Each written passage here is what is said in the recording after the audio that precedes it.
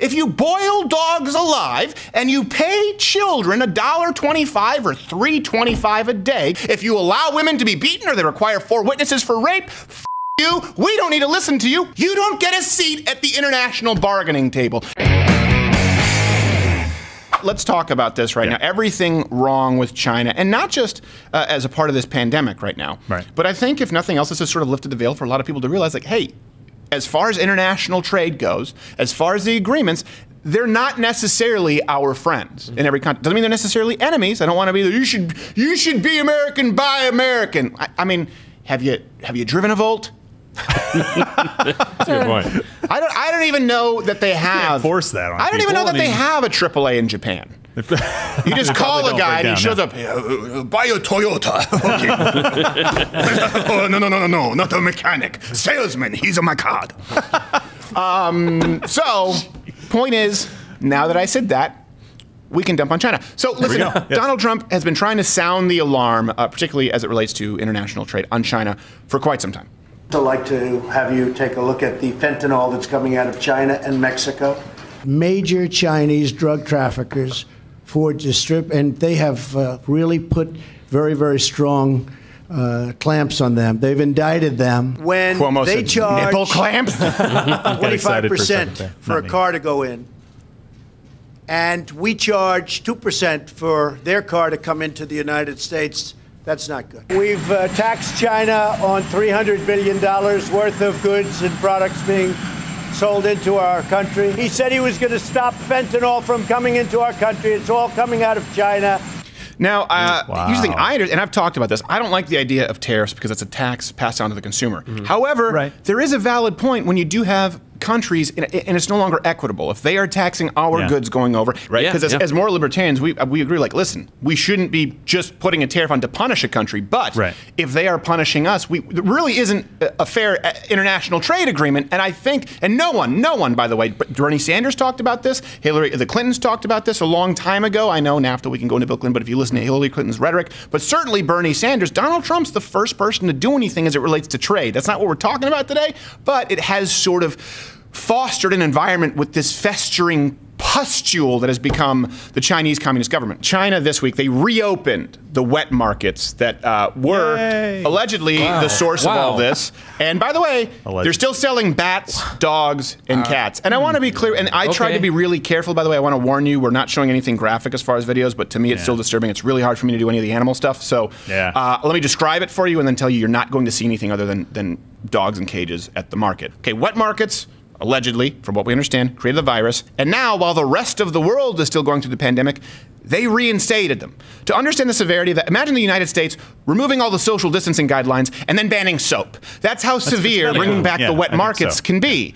No hygiene standards. The cruelty, though, is it, it's over the top. Dogs are kept in cramped cages and then I'm not going to show it, but then they're boiled alive. I want to warn you, it's not yeah. graphic, but the following footage will uh, make you angry.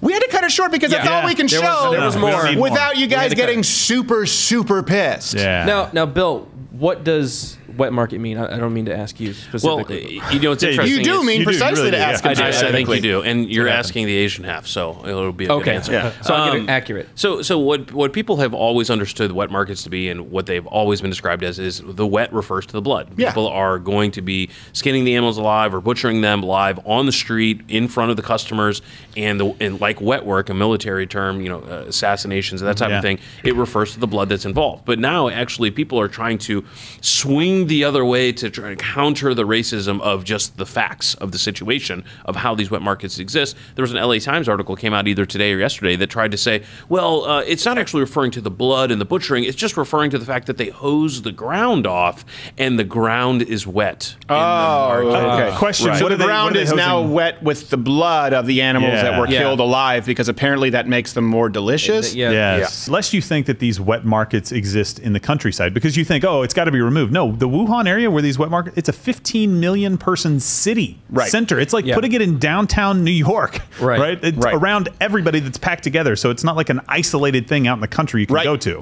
No, And and just so you know the numbers, I mean, it's tens of thousands of markets. Oh, of yeah. wet markets. Oh, I yeah. mean, at, at its peak before they started shutting them all down, which was not long ago, months ago. We're Right. talking about. Um, there were tens of thousands of these markets, and even in not just in the quote unquote rural provinces, which is a good point, Gerald. I mean, these are multiple million person cities. Yeah. Yeah. But even in Shanghai or Beijing or in the suburbs around those towns, they have those wet markets. Um, And you know, it's again, it's not just the idea of a butcher, right? Like we have butchers here, and maybe Sure. they do live butchering, but it's the proximity of wild animals all together, combined with the hygiene and the mixing, that creates the huge problem that we have Right. here. Yeah. So let's go through a few points here that I think matter in, in relation to China. And, and, and half Asian Bill, you, know, you can half correct me wherever I'm wrong. Um, but only half. the wet markets, they're not only where coronavirus started, also SARS. Yeah. Let's let's be clear about that. And, and those are just the diseases that originated specifically in the wet market. So all, uh, many, not all, but many different strains of bird flu, Mm-hmm. okay, swine flu, they spread in these markets. They didn't. They weren't created necessarily in these markets, but this is where Right. they spread, Easily and they led spread, to repeated outbreak. They've shut down these markets during. They shut them down during the SARS outbreak, during the uh, H7N9, which I don't necessarily remember. It was oh that was Bird- that bird was that's flu, right. That's yeah. a bird Uh, flu. we knew about bird flu, That's yeah. right. We knew about bird Yeah. flu. That was a pandemic. I heard It was. And It uh, now coronavirus. So what's most important to me is they shut them down, right? So this disease spreads. They shut down the wet markets like right away. Everyone shut down wet market. Okay, and then they reopen them, so they know Yeah. that it's happening there. And right now, it's extra dickish because the pandemic is still spreading across the globe, and they are already reopening them. Like, can't you wait until the bodies have assumed room temperature in Italy and Spain and the United States before you Yeah. reopen what you knowingly had uh, created as an incubator to, to, to create the proliferation of this disease. Let's go down to some, some other dangerous things that have been going. The research. Okay, so if the Yeah. wet markets weren't bad enough, Chinese government they've been conducting all kinds of viral research. Oh yeah. Right? They've been they isolated and worked with over 2,000. I want to make sure. Yeah, over 2,000 new viruses, including bat coronaviruses, just three miles from the Wuhan market. And you were saying actually some of them are uh, I- I- 1.2 kilometers. It was 1.2 kilometers away. Wa- uh, Washington Times put up there that it was three, but I, I actually just Google Earthed it. But the Chinese government or somebody fr- removed from Google the listing of where that. That's is. interesting. I would like to know why there's that discrepancy. I wonder if it's the way of the bird. no, so 1.2 kilometers faster? walking. Really? Walking. You can look it up right now.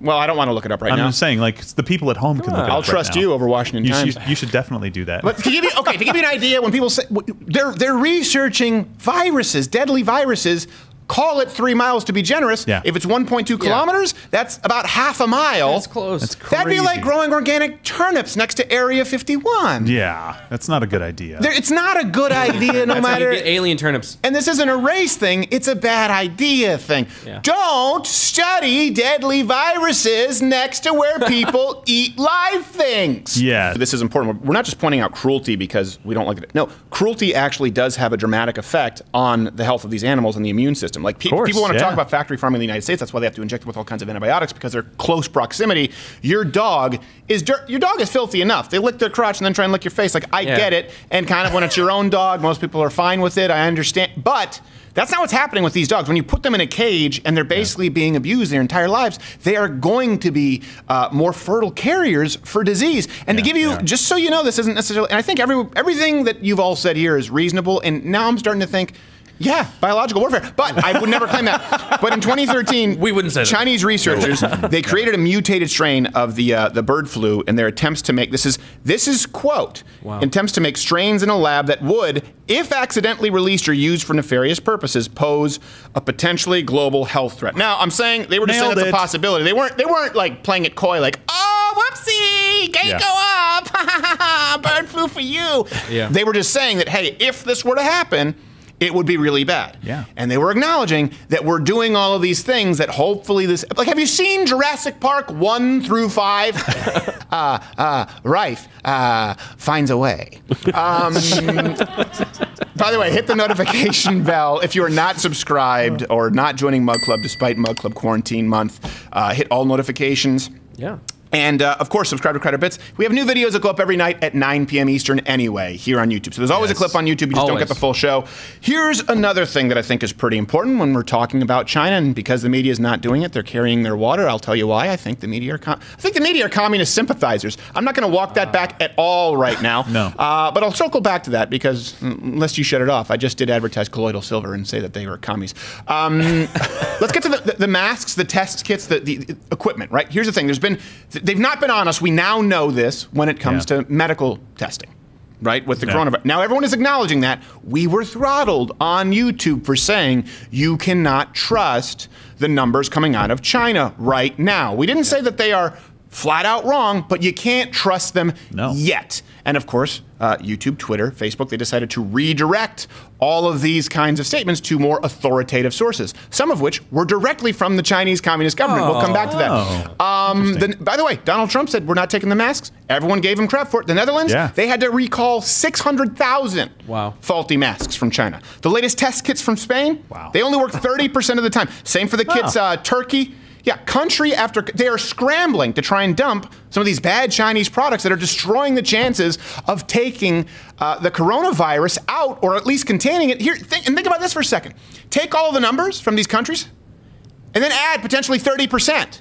Yeah. When you're talking about the infection rates. Yeah. Yeah. We're the only absolutely. country that doesn't have that right now. We have more accurate testing right now. Yeah. And now we're doing more and more testing by the day. The fact I was shocked. I had to double check this and have read your research. A 30% failure rate? You might not even, you might Wow. not even take Yeah, that that's- test. That's insane. Would you use a condom with a 30% failure rate? Yeah, that's a Oh, high it only worked thirty percent of the time. That's what he's saying. So it's a seventy percent failure oh. rate. Is what they had. Oh, they only work It's the other way. I mean- They only work thirty percent. Well, of the, Well, the, time. problem is I'm so anti-Chinese I can't do math. Well, no, that would be bad enough. If it had a thirty percent failure rate, we'd be up in arms. It was seventy percent failure rate. 70%. Wow. And the Chinese government in Spain, basically, the embassy said, "Well, uh, they're- they just they weren't licensed to make the product, so so our bad." Yeah. So that was their defense of the Our entire bad. thing. Also, the baby food, uh, asbestos. Might want to avoid that for a while. The Best Buy date, not really relevant. It's all bad.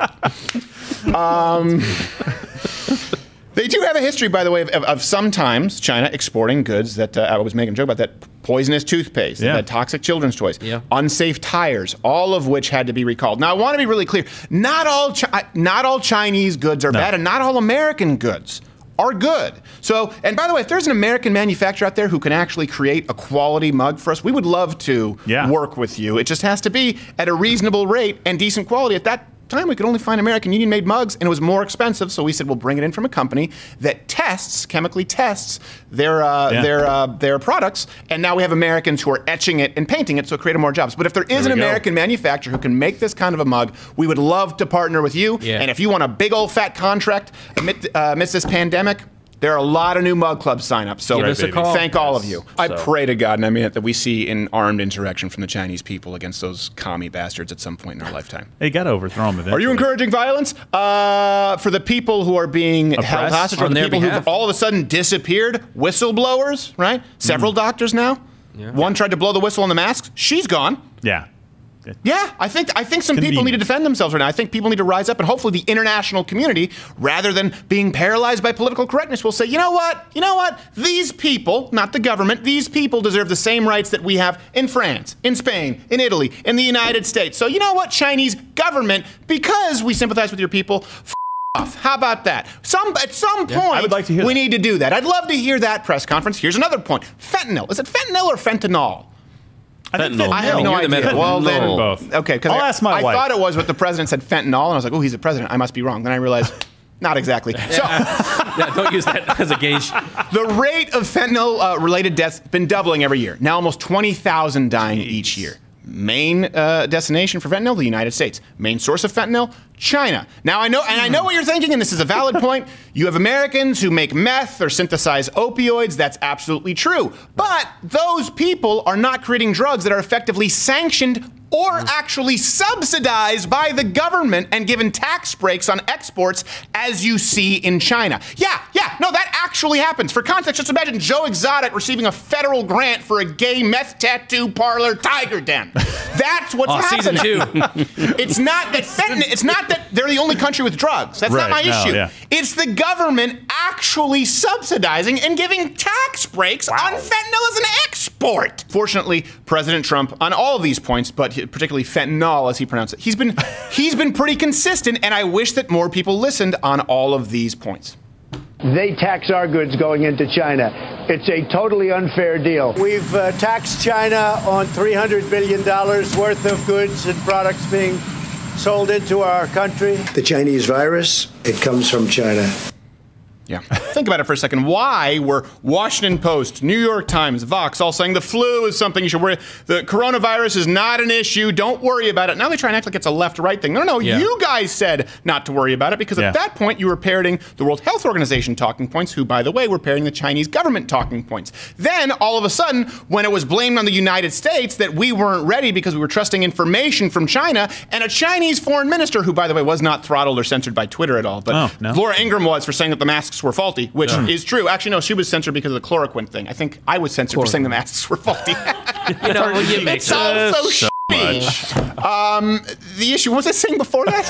what was I talking about before that? Oh yeah, Talking to the foreign minister. Again, the Yeah. quickest. The, Occam's razor here. Why would they say it's not a big deal? And then all of a sudden say it's a big deal and the right is wrong about it. For the same reason that they don't seem to have a problem with doctors and whistleblowers disappearing in China, and they refuse to run the press briefings here in the United States from the White House. Here's a new rule. While we're talking about freedom of the press, you know what? It's not exactly communist China here if CNN refuses to run the press briefing and instead runs commentary on the press briefing that you don't get a seat or a press badge. Mm-hmm. How about that? How about once you stop parroting communist Chinese talking points, then maybe you get a seat at that table? It is remarkable to me that I can't think of any other time in American history, but Orange Man bad, that we have a president, commander in chief, who's going out there addressing the people directly. The Yeah. president of the United States and the media is opting not to run it. Instead, running false propaganda that maybe they're not getting from the Chinese government, but it certainly would be congruent with the messages that the Chinese government is trying to put out there right now. When you look at reporters retweeting the foreign minister with conspiracy theories, for some reason they're still on there, but Alex Jones is not.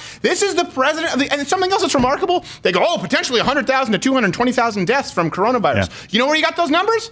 From Donald Trump's press briefing, Right. dummy. But you didn't run it because you didn't want to include that we're getting hundreds of thousands of new masks. We're getting hundreds of thousands of masks that can be sanitized. The FDA approved the therapeutics that Donald Trump touted and you said he was wrong and crazy about. So what do they do? They don't run the press briefing. Instead, they run commentary on the press briefing while the Cuomo's talk about their mom's pasta sauce and nipple rings. and then they take the worst numbers from the press briefings and don't actually tell Americans about the positives. Listen, not all cultures are created equal. And, Don, and Donald Trump is right about this, just like Bernie Sanders was right about this. Americans should not have to compete with the child at a Nike factory who's working for a buck fifty a day. This is not, we can't beat an international economy if it's not fair. And you know what? When we're talking about this, not all cultures are created equal because I think that American exceptionalism is a good thing. And you know, if you if you boil dogs alive and you pay children a dollar twenty-five or three twenty-five a day, guess what? You don't get a seat at the international bargaining table. And not just China, because not all cultures are equal. If you don't let your women drive, you don't get to sit and dictate any policy or even express your opinion here in the United States. If you allow women to be beaten or they require four witnesses for rape, you. We don't need to listen to you. We're not going to be on any committee or international agreement that you take part in. So let's start with China and then work our way down so that hopefully we can be the empire we've been accused of being and make the rest of the world the United States of America. Why? Because the Chinese and everyone else would be better off. I know I got a little worked up there, uh, but there are videos playing in boxes here. So, so click those if you want to see more content. Hit the subscription button or hit the notification bell. Hit all notifications so you'll know when new videos come out. But hint, every weeknight at 9 p.m. Eastern, you can come in and see a video. And I just want to clarify I know I got passionate, lest it be misconstrued as, as racist. Um, I do not have a problem in any way with the Chinese people. It's just the hats.